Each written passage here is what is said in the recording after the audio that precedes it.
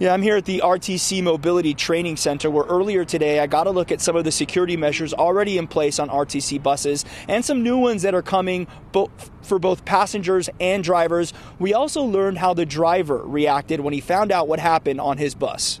The video was difficult to watch. A man getting punched in the face by another passenger.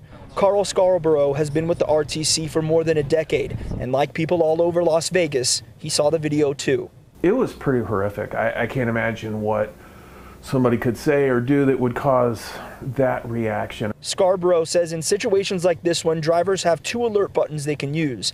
One patches them into dispatch who can hear everything going on inside the bus. The other button is when things get a little bit more serious. There's another button they can push that will push them to the top of the queue um, so that they're in immediate contact in any circumstance uh, with dispatch. RTC says the driver behind the wheel at the time of the attack became aware after a passenger told him about it. He became aware of it.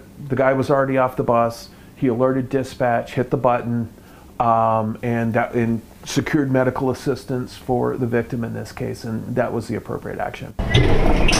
RTC says drivers have a lot going on when they're on the job. Not only do they have to pay attention to the road, but they also have to keep an eye on the mirror so they can see what's going on towards the back of the bus. For all the parents out there, it's like driving with your kids. You know, you got to pay attention, not hit anybody, not get hit, keep an eye on what your kids are doing. It, there's a lot going on.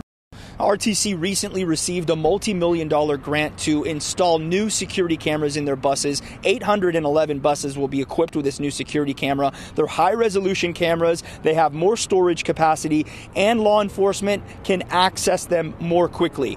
I spoke with Las Vegas Metro earlier today. The suspect in that attack has not been caught yet. I'm Enzo Marino, Fox 5 News, local Las Vegas.